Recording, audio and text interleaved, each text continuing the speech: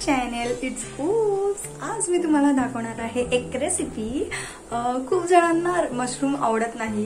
So yes आज मी जी recipe दाखवणार आहे ते ती जर तुम्ही ट्राय केली तुम्ही मशरूम नक्की खाल. जे खात नसतील. सो येस मी पण पहिले अशीच होती. मलाही मशरूम आवडत नव्हते. बट ही रेसिपी मी जेव्हा टेस्ट केली तेव्हा मला खूप जास्त मशरूम आवडायला लागले. सो येस आज आपण बघूया मशरूम प्लॅटर त्यासाठी काय काय साहित्य लागतं आणि ते कसं बनवलं जातं.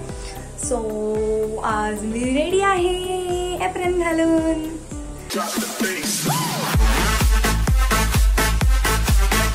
So let's go so guys आपण इथे रिकामा बाउल आहे मशरूम घेतले तेल घेतलंय दही त्यानंतर लिंबू घेतलाय.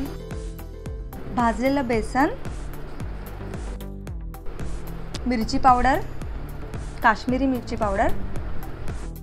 त्यानंतर आलं लसूण पेस्ट. काळं मीठ कसुरी मेथी गरम मसाला. त्यानंतर आपण इथे घेतलेला आहे चाट मसाला. जिरे पावडर. आणि ब्लॅक पेपर पावडर म्हणजे आपली काळी मिरी पूड आणि मीठ.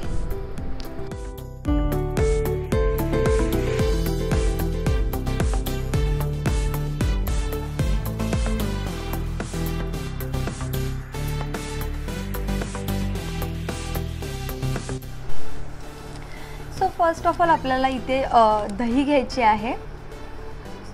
सो मी ते चार चमचे दही टाकते आहे चार. त्यानंतर आपण यात ब्लॅक पेपर पावडर टाकलेली आहे अर्धा चमचा. त्यानंतर लिंबू जर तुमची दही जास्त आंबट असेल तर लिंबू थोडंच पिया. त्यानंतर जिरे पावडर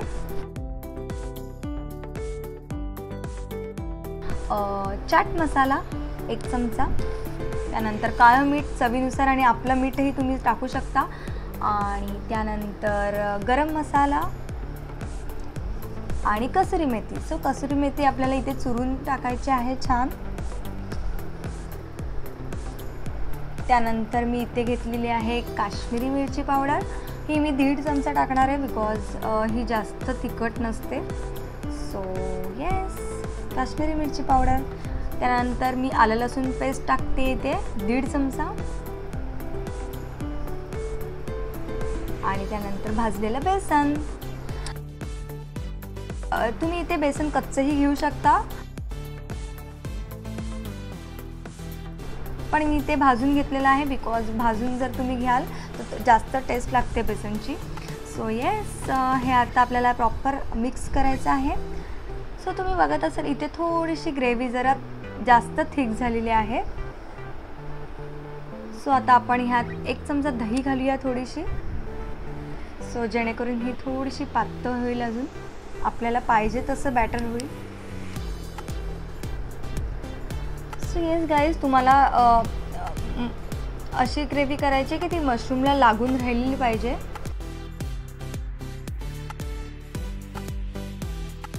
सो येस आपलं बॅटर रेडी आहे. सो ह्यात आता आपण मशरूम घालायचे आहेत. मी काय काय मशरूम इथे हाफ घेतलेले आहेत आणि काय काय तसेच अख्खे ठेवलेले आहेत.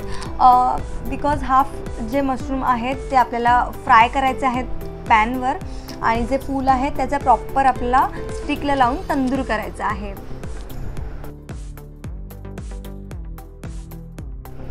सो मी इथे मशरूम जसे ग्रेव्हीमध्ये टाकले. तसं तुम्ही पनीर टाकू शकता किंवा सिमला मिरची आणि कांदाही टाकू शकता. हे सो येस हे प्रॉपर मिक्स करायचे बिकॉज प्रत्येक मशरूमला ही ग्रेव्ही लागली पाहिजे. समझ रहे हो रहे हो रहे हो ना?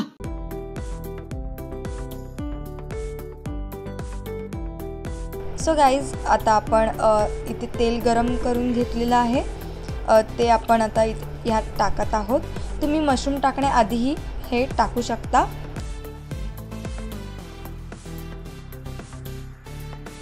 येस आपलं मॅरिनेट रेडी आहे. सो हे आपल्याला दहा ते पंधरा मिनटं छान ठेवायचं आहे बिकॉज आपल्या मशरूममध्ये हे सगळं मसाला जे आहे तो पूर्ण लागला पाहिजे आणि मुरला पाहिजे.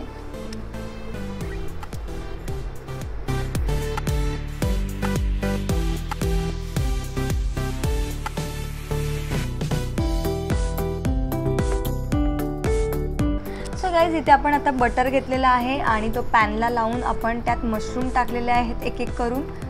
सो गाईज मी आता ह्याला पलटी मारते आहे बिकॉज एक साईड ह्याची झालेली आहे.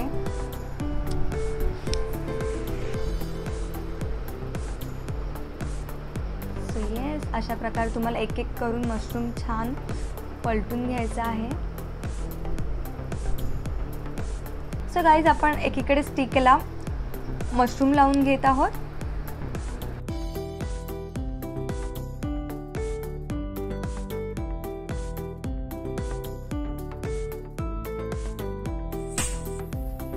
येस सो हे आपल्याला अशा प्रकारे फ्राय करून घ्यायचं आहे गॅसवर.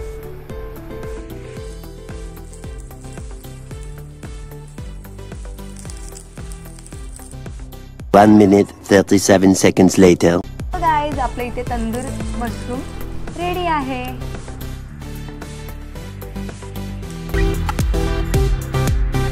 सो आपलं मशरूम प्लॅटर इथे